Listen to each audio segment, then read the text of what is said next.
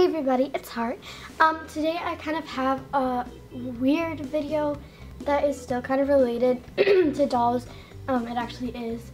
But um, I'm going to be showing you my sewing machine supplies and my sewing machine um, because I make doll clothes in case you didn't know. And this is also kind of to promote my mom and I's sorry, it's like 8 in the morning. My mom and I's um, little shop called Fad Outfitters, which stands for Forever and Dollways Outfitters. Um, we haven't yet posted anything that we are selling, but we're working on it, and um, I'm looking forward to selling some doll clothes to you guys. So let's just get started. First off, my sewing machine is obviously a Kenmore. This is so old. Um, it still works. It's a little bit like rusty, like you know what I'm saying. But um, anyways, it just turns on like that. Um, and I'm not exactly sure what model it is, but I know it's over 20 years old. So um, I, it's obviously not threaded correctly, but it does run. And yeah, so that's my sewing machine. So then below my sewing machine, I have this really big bin full of my fabrics and my threads. So I'm gonna show you my threads first, which is in this basket. My mom got this basket from Goodwill for two, $3, I think. Um, it's brand new. It's got the little cushions on top. It does have trouble staying open because the strings right there is what keeps it open, but it's fine. Row up here, plus these three threads. Um, she got those in a bag at Goodwill for $2.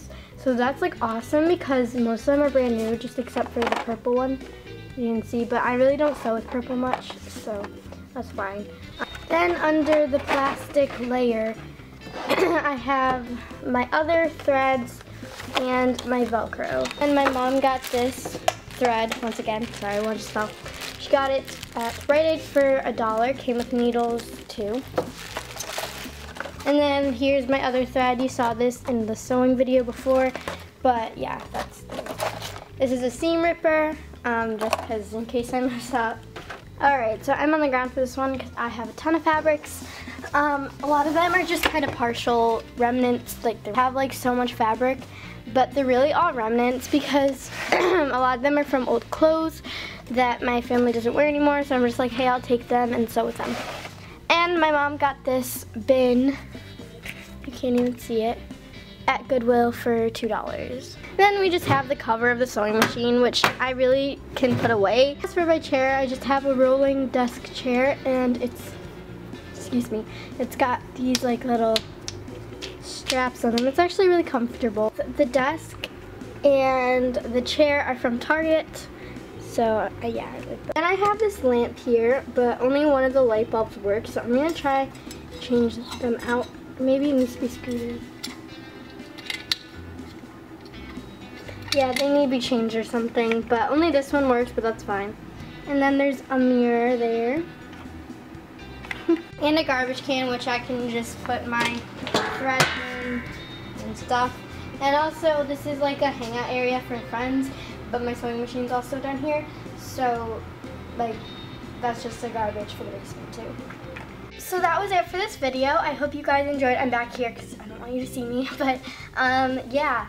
And if you enjoyed, give it a thumbs up, and also please leave a comment below of what you'd like me to sew because I, I want to sew today and I have no ideas. So yeah, that's it. Thanks for watching and comment subscribe. Bye!